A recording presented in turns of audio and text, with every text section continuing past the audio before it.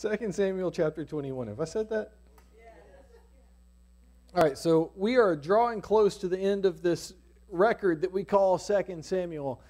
There are only four more chapters left here for us to go through. And, you know, in the, in the course of, of, of the closing of this book, we come across two national tragedies.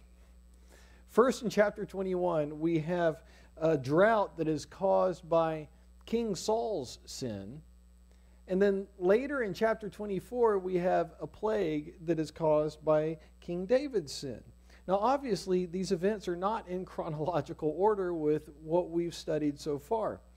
So, um, we'll get to that. I'll explain that when we get to that. But uh, wedged in between these two tragedies, we find also, in this uh, actually in the chapter we're in here for this evening, we find a, a summary, a very brief summary of four victories. And then we find a list of David's mighty men, as well as a couple of Psalms that were written by David. Now, speaking of our chapter for this evening, we first come to the three year famine. And David learns in this chapter this is a consequence of his predecessor Saul's efforts to wipe out the Gibeonites. And that was a violation of Remember back in Joshua, the treaty that, that Joshua made with the Gibeonites? And that was hundreds of years before this. So Saul was violating that treaty. And, and, to make reparation, the Gibeonites demand the right to execute seven of, of Saul's male descendants. And that, that takes place in verses 3 through 14. Uh, we'll find the, the, the executions, and we find that the executions end the famine. Now, there's another trial that takes place here, and that is the continuing warfare that we see with the Philistines in verses 15 through 22. And, and these lengthy wars, which are, are only summarized briefly here, they, they end up decimating the Philistines to the point where, well, basically they're no longer any kind of serious threat to Israel again. Um, but let's not talk about the chapter. Let's dig into it. Let's pray and we'll, we'll dig in. Uh, Heavenly Father, we thank you for this evening and we thank you for this time that we have in your word. And as we study your word, we ask that you would soften hardened hearts. Lord, that you would open up our hearts to receive from your word. Um, we love you and we desire to, uh, to learn more about you this evening. We pray this in Jesus' name. Amen. All right, so verse 1, 2 Samuel 21 verse 1 says, Now there was a famine in the days of David for three years, year after year. And David inquired of the Lord, and the Lord answered, It is because of Saul and his bloodthirsty house, because he killed the Gibeonites. So the king called the Gibeonites and spoke to them. Now the Gibeonites were not of the children of Israel, but of the remnant of the Amorites the children of Israel had sworn protection to them, but Saul had sought to kill them in his zeal for the children of Israel and Judah. Um, the Hebrew word here for famine is ra'av, and it just means hunger. And, and, you know, it's, it's one thing to be deprived of food for uh, one or two days. In fact, the Bible records periods of fasting for 40 days. But during a famine, available food for a whole region is slowly restricted and then becomes nearly nothing, and that can go on for years. And starvation is a terrible thing, and, and it would have been terrible for David to witness the people that he loves so suffering in this way. And we're told that while this is during the days of David, the reason is from events that took place back during the reign of Saul. It reads in verse 1 that it was because Saul killed the Gibeonites. Now, the Gibeonites, they had lived in the promised land long before the time of the conquest of Israel. And when Israel attacked the land or went into Canaan and attacked the peoples of the land, the Gibeonites, they resorted to a trick in order uh, to try and survive. They sent envoys who were dressed in worn clothing and who were carrying aged supplies to beg Joshua and the Israelite leaders for peace. And in return for a uh, pact of non aggression or a, a, a, covenant of non aggression, the Gibeonites pledged uh, allegiance to Israel. They pledged to be subjects of Israel. Now, Joshua and the, the others, they accepted this offer, but they did so without taking the time to consult with the Lord.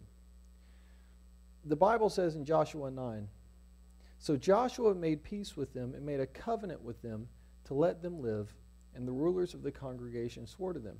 Now, three days later, the Israelites learned that the Gibeonite cities were actually nearby and were, in fact, a part of Israel's inheritance from the Lord. But at that point, it was too late. They had already made the covenant.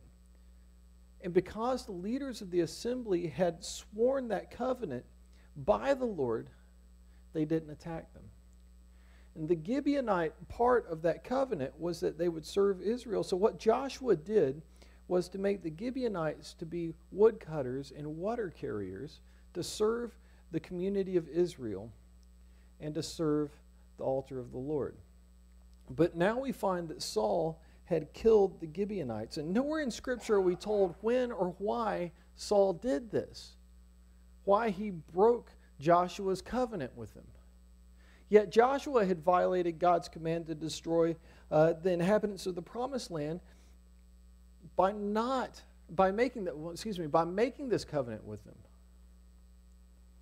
But that vow, that covenant, it obligated them before God to then protect the Gibeonites.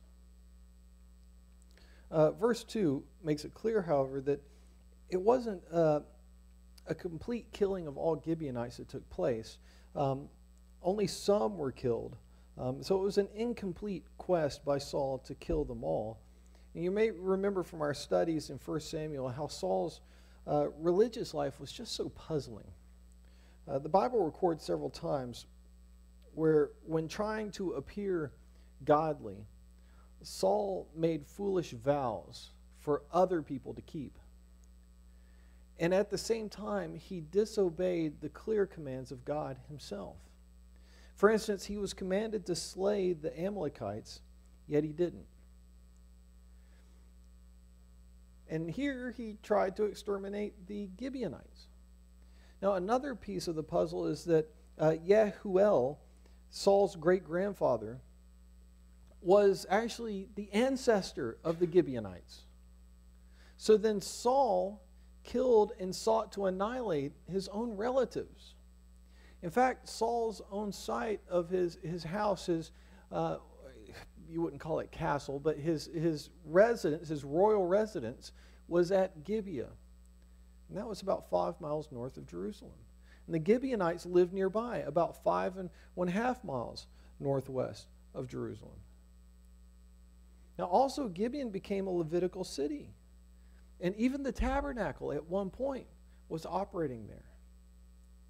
The city was located uh, within the, uh, the tribal area of uh, the tribe of Benjamin, which was, of course, Saul's tribe. You guys remember that? So perhaps, uh, perhaps that's a clue to Saul's behavior here. Perhaps it was that it was an embarrassment to him. Now, as we noted in 1 Samuel, one of Saul's leadership tactics was to reward his men, his leaders, with houses and with land. Perhaps in order to do this, he was confiscating property from the Gibeonites. Another possibility is that Saul resented the permission given for Gentiles to serve the Lord in even a small way. Many times, those who appear the most pious are trying to cover for something.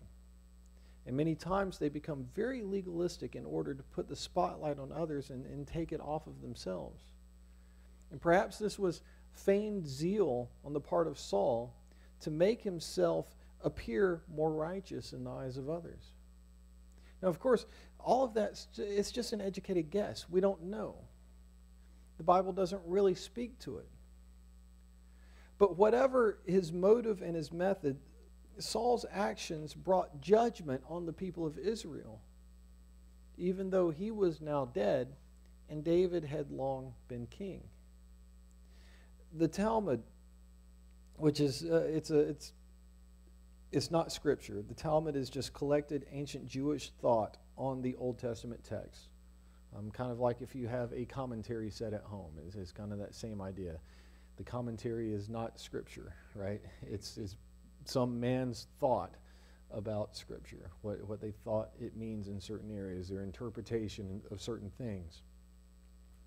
Um, but the Talmud, it does imply that there was some guilt on all Israelites in this because there was a generalized mistreatment of the Gibeonites by the Israelites. So the famine continued for three years. The first year uh, might have caused some some fretting because there was just an unexpected change of things. The second year, probably people were thinking, well, you know, we're dipping into the reserves now, um, but things are bound to improve. But then that third year, the famine was still going.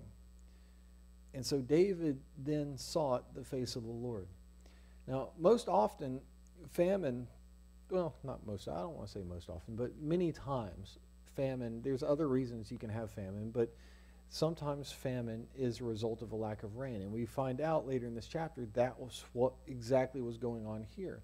And Deuteronomy 28 records that God would send the rain to the land if his people would honor and obey him.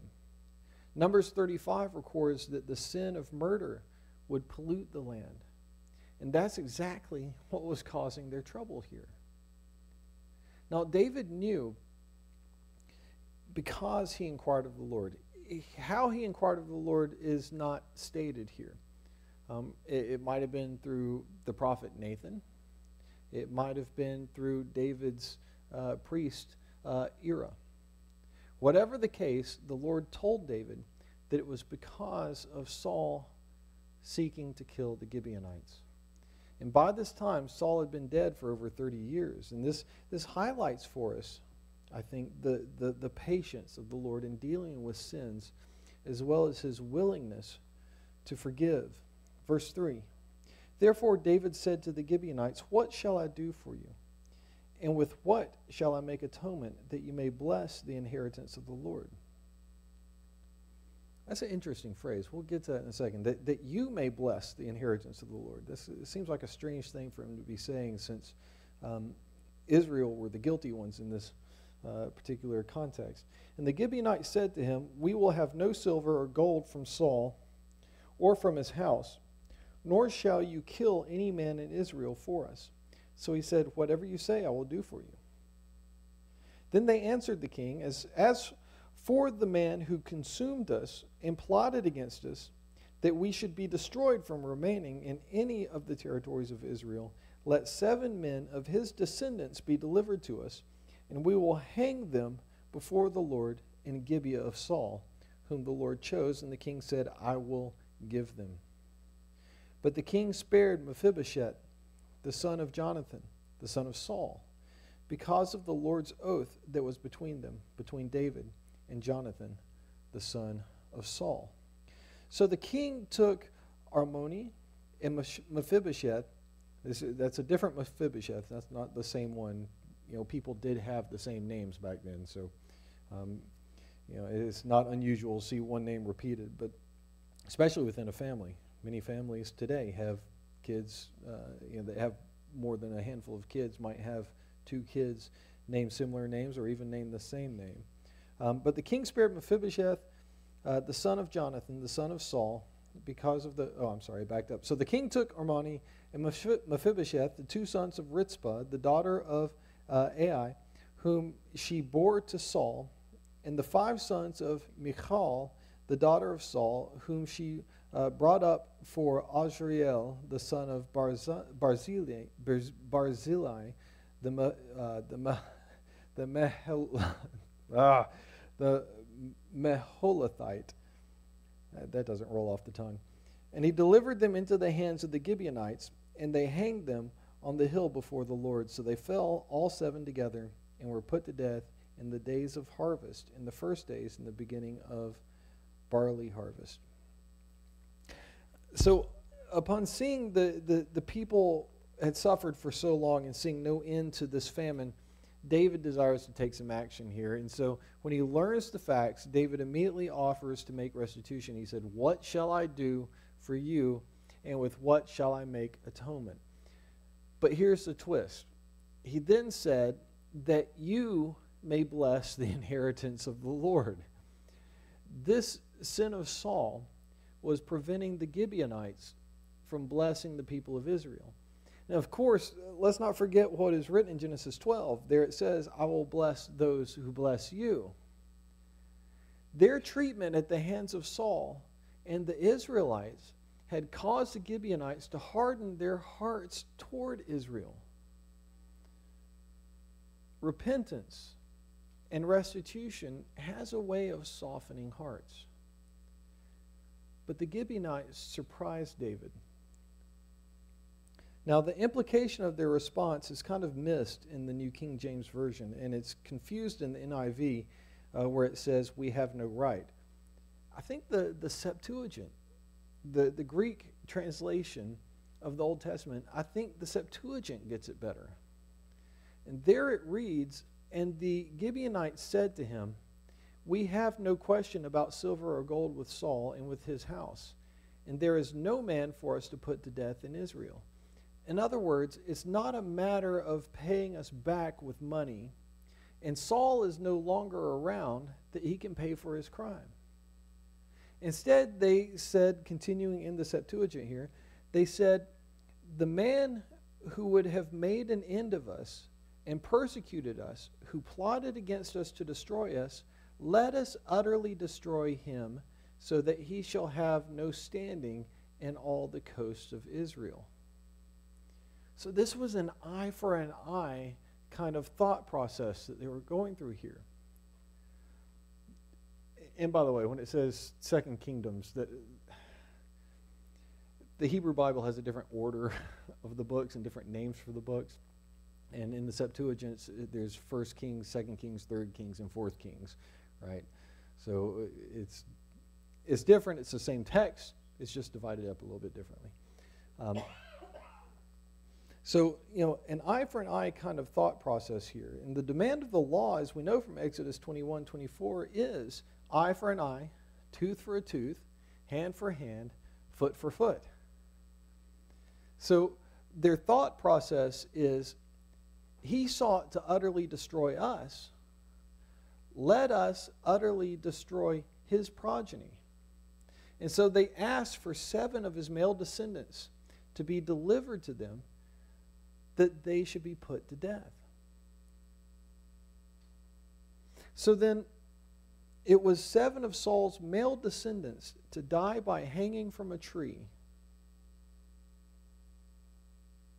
instead of the general population of Israel to die from famine. But we also might recognize something in this that we would that would later be said by the high priest of Israel in reference to Jesus. In John 11, he said, Do you consider it consider that it is expedient for us that one man should die for the people and not the whole nation should perish? Now, of course, that's not a perfect comparison. But still, the idea is there. Along with being hung from a tree, as the text says, before the Lord the idea here is that it would take the shedding of blood to atone for the Gibeonite blood that had been shed. Now, the nation was suffering because of Saul's sins. And if David just killed any man, that wasn't going to solve the problem. These seven would bear the guilt of Israel. Now, of course, today we have the New Testament, and we understand the gospel of Jesus Christ. And so we look at this and we have a bit of a hard time understanding this. But we need to keep in mind that here we are dealing with law, not grace. We need to remember, however, that the death of these seven men was not atonement. it was legal retribution. And though David didn't commit the crime, he now had to go and choose the seven who would die. And, uh, and that, of course, wasn't an easy thing to do. Now, David had previously in 1 Samuel 20 made a vow to his friend Jonathan to protect his descendants. And so David didn't then uh, name Mephibosheth. He had received Mephibosheth as if a member of his own family. Instead, he chose two sons of Saul's concubine Rizpah, as well as five sons of Saul's daughter Michal. Now, this is important. Michal, who was married to Adriel. Now, this is not the same Michal that we know from earlier in David's life. This is Michal, also known as Merav, who had married Adriel. Now, also, we should note that uh, sons here does not mean children, but refers to people of adult age. Now, these, it says, were hung on the hill before the Lord. And this was probably uh, this hill before the Lord was probably the Gibeonite high place that's mentioned later on in 1 Kings 3 uh, in association with Solomon. Now, this happened, it says, during barley harvest in the middle of April. And it says, they were left there until the rains came. Verse 10. Now, Rizpah, the daughter of uh, Aiah, took sackcloth and spread it for herself on the rock from the beginning of harvest until the late rains poured on them from heaven. And she did not allow the birds of the air to rest on them by day, nor the beasts of the field by night. Now, I'm not, myself, I'm not familiar with weather patterns in, I've been to Israel twice, but I'm not familiar with weather patterns at that day and age there in Israel. But commentators say that's probably about six months worth of time. So they were allowed to, to hang there from, well, for six months till sometime in late October. And Rizpah camped there. And she did not allow the birds to rest on them during that time. So she woke up and beat away the birds. She stayed there and beat away the birds. And David was told that Rizpah, the daughter of Ai, the concubine of Saul, had done.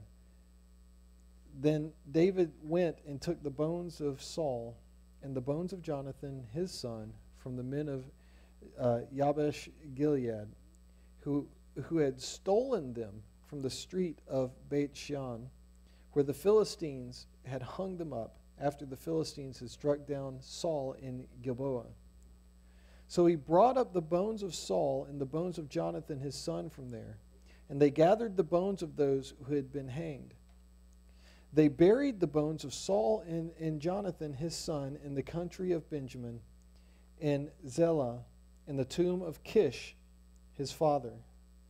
So they performed all that the king commanded and after that, God heeded the prayer for the land.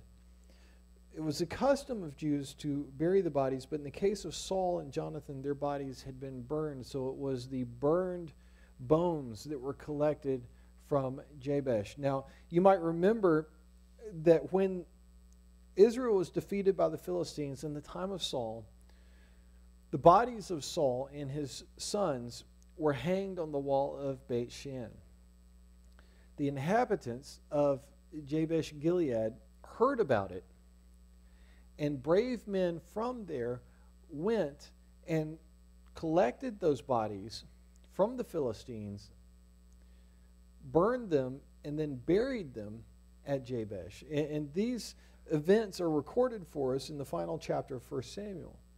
Now, David allowed the bodies to, regarding these, these uh, seven that, that were hung here, David allowed uh, the bodies to remain exposed until the rains came.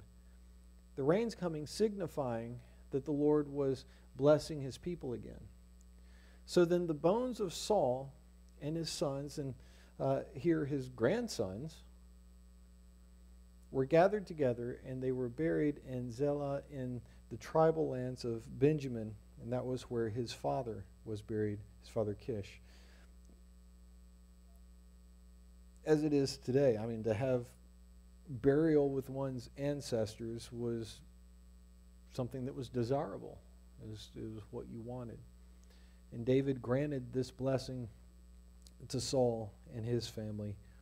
So, you know, we're, we're all probably looking at this and we're like, we just have questions. And, and many of those questions that we probably have can't be answered with any information that we're given. One thing we can be certain from all of this is that sin is very serious. One man's sins can bring sorrow and death to his whole family, even after he's dead and buried.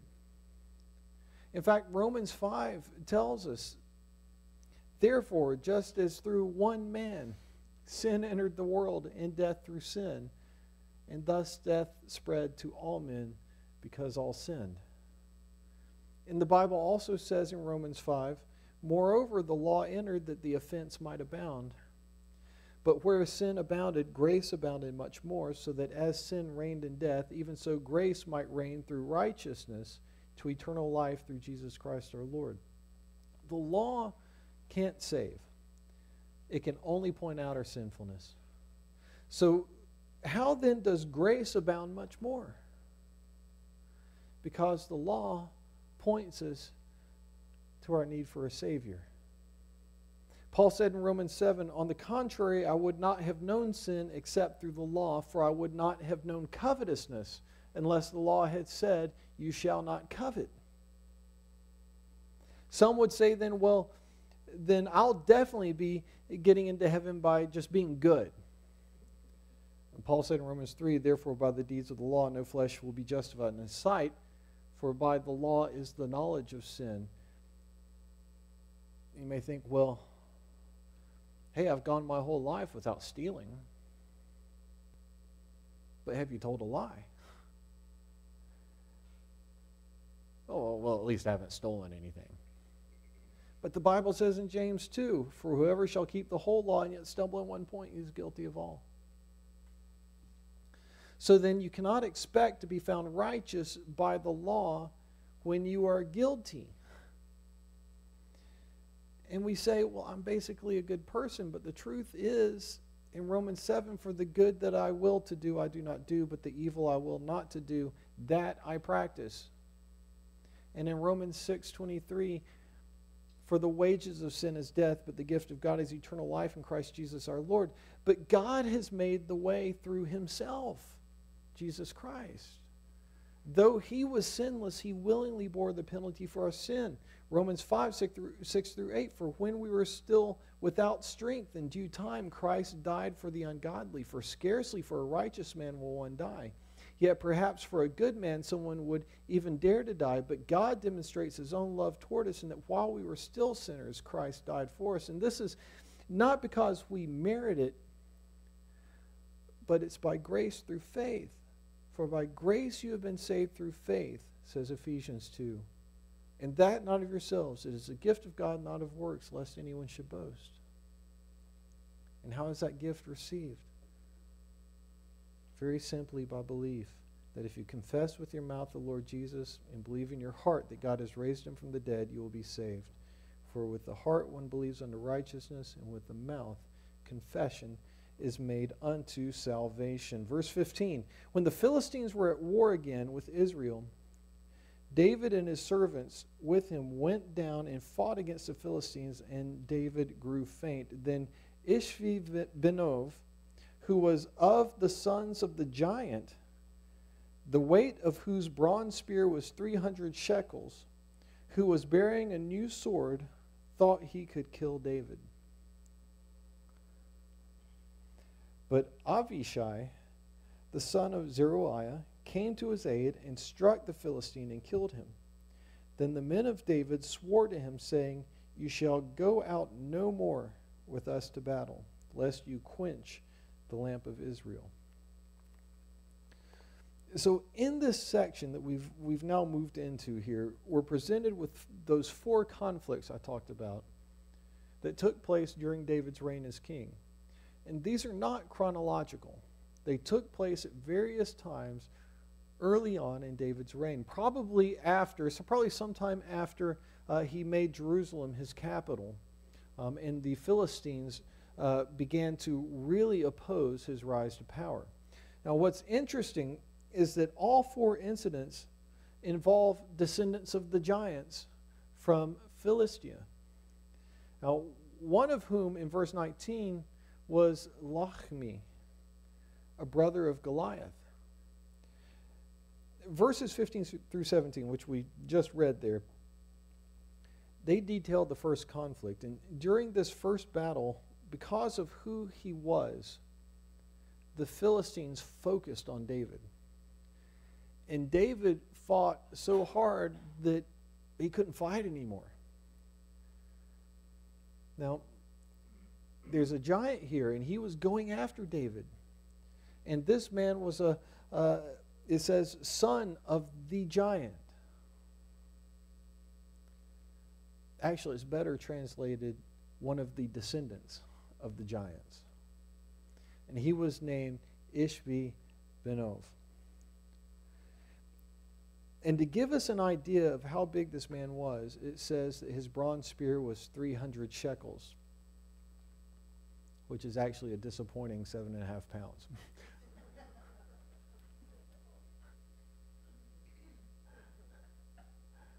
that's about, I mean, I'm not, not bragging on myself by any means, but that's about two pounds lighter than a bass guitar.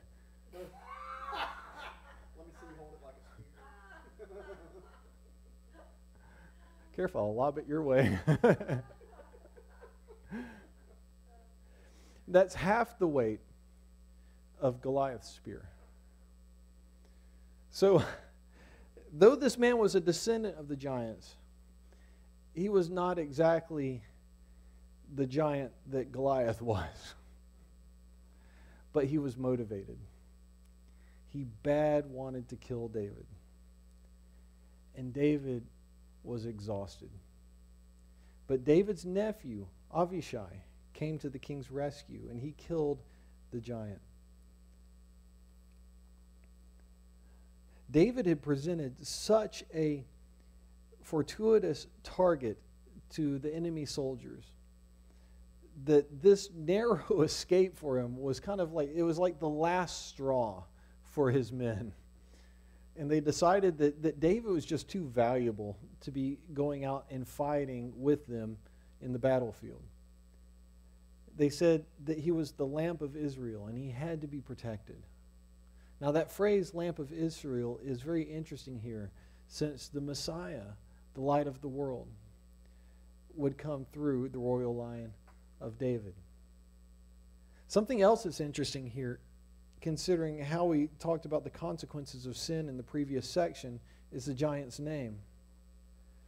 In a way, it, it alludes to something from David's past, something that happened when he was running from Saul.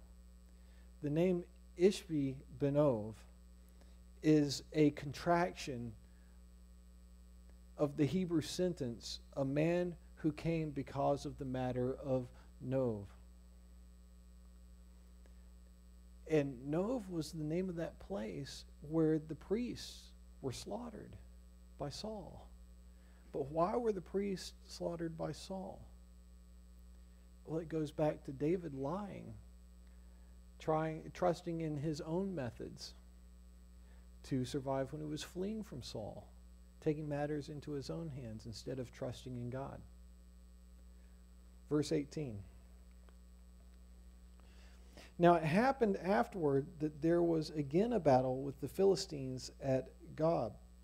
Then uh, uh, Sev- the uh, Hushathite, killed Saph, who was one of the sons of the giant. Again, there was war at Gob with the Philistines, where Elhanan, the son of Yare uh, Orachim, the Bethlehemite, killed the brother of Goliath the Gittite, the shaft of whose spear was like a weaver's beam. So again, there was a battle with the Philistines, actually, two here mentioned at a place called Gob or Gov. Um, in verse 18, Israel won the battle because one of David's mighty men, or his uh, Gibborim, killed the giant. Now, as was the last time when it says the giant, the phrase should be one of the, the descendants of the giants, or the Rephaim. Um, that's the word that's used there, Repha. But it, it's in the context that it's used, the way it's used in the Hebrew, it, it's meant to be plural, Rephaim. And also in verse 19, only that time the giant was the brother of Goliath, the giant whom David killed when he was a young boy. Now, we don't know where Gov, the place that this battle or both these battles took place, was located. It could have been a place near Bethlehem, uh, near modern Husan, but it's speculated that, it, that, that Gov could actually be uh, another name for Gath. In fact, the Greek translation of the Old Testament, the Septuagint, uses Gath here. And then later in this chapter, there are other battles that, that take place in Gath, or, or the Gath is mentioned is in regard to the other battles. Now, I'm going to let you in on something here. Um, in the New King James Version, the words the brother of are italicized because they were added to the original text. And this was most often done in order to add clarity, which it usually does. And sometimes things just don't translate well from one language into another, and it helps to add words to make the meaning more clear. There's some question, though, as to whether this should have been done in this case. Now, without it there, it reads, Again there was war at Gov with the Philistines, where Elhanan, the son of Yare uh, the Bethlehemite, killed Goliath the Gittite, the shaft of whose spear was like a weaver's beam. So then we have to wonder what's going on here. Because without that text, it says this person, Elhanan, killed Goliath, the Gittite. David was supposed to have killed Goliath, is recorded back in 1 Samuel 17. Now, it could be that David and Elhanan are one and the same, meaning that one is a family name and one is his royal name. You know, it, sometimes, it, you know, my name, uh, sometimes I'll use my middle name. Most of the time, I use my middle name, Sean. But sometimes when I'm signing a, an important document, I'll use my first name, Benny. I'm the same person. I do the same things. I just have two different names that I could use. And other people may use to refer to me. Now, at the same time here, we also know that Elhanan was the name of one of David's leaders. And again, there are many other people in this world that are named Sean. Most of them spell their name wrong. but again, there are many people that use the name Sean. So there's just some question here as to what's what's going on. Um, the answer is either David, also is known as Elhanan, or that the italicized words that were added in there actually should be there um, and do add clarity to the text. Um, in fact, toward that, we can look to a parallel text in 1 Chronicles 20, and there the phrase in the actual text does occur the brother of Goliath. So then my conclusion here, and I, I, I enjoy textual criticism. I, I, love comparing things and figuring things out. Um, my conclusion is that, that the brother of is a legitimate uh, addition here to the text, and, and it should exist here. Um, but certainly, you know, feel free to do your own research on that. and you, you may come to a different conclusion. Doesn't change anything. Um, it's just very interesting, uh, the, the, interesting possibility that, um, that that exists there. Verse 20. Yet again there was war at Gath, where there was a man of great stature who had six fingers on each hand and six toes on each foot, 24 in number, and he also was born to the giant. So when he defied Israel, Jonathan, the son of Shimei, bro- uh, David's brother, killed him. These four were born to the giant in Gath and fell by the hand of David and by the hand of his servants. Okay. So we're going to wrap it up here with this fourth battle. It took place in Gath, which was firmly in Philistine territory. And in this battle, David's nephew Jonathan killed the giant who had, like Goliath, defied Israel and God. So then, we've made note already that when it said son of the giant, it should be translated descendants of the giant. Who were these descendants of the giants? Well, we find out here for sure that they were born to the giant in Gath who fell by the hand of David. And we all know who that was. So the four Rephaim spoken of here, three were sons of Goliath, one was brother of Goliath.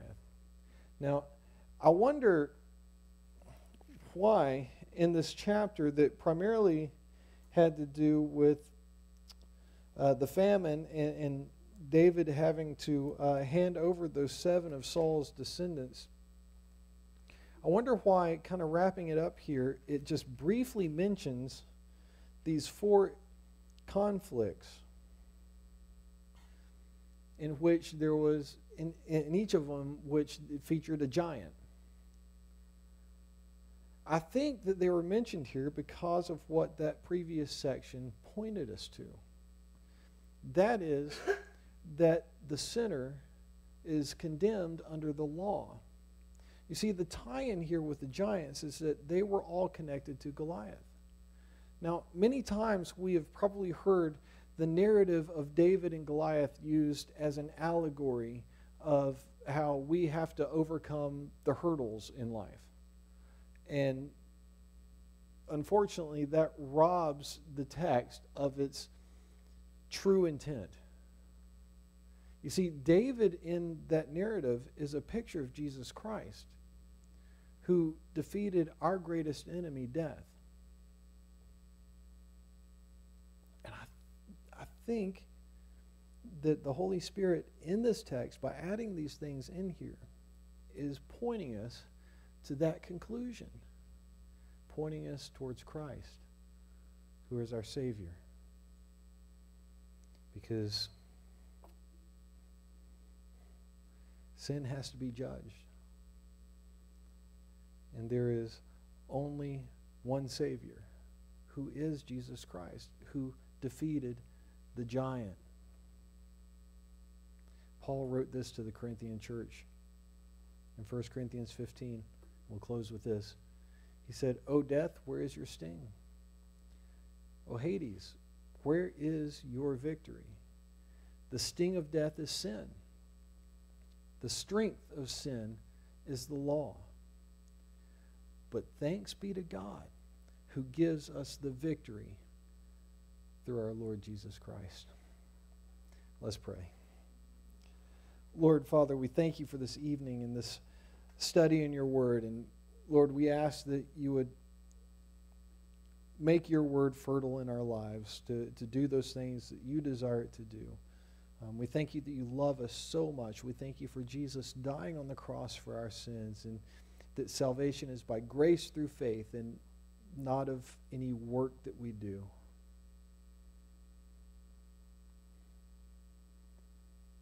Heavenly Father, we love you. We desire to please you with our lives, Lord, and we ask that you would lead us in how we may do that, how we may glorify you. May the Lord bless you and keep you. May he make his face and his light to shine upon you. May he lift up his countenance upon you and give you his peace, his shalom. In the name of Yeshua HaMashiach, that's Jesus, our Lord and our Savior. And everyone said, Amen.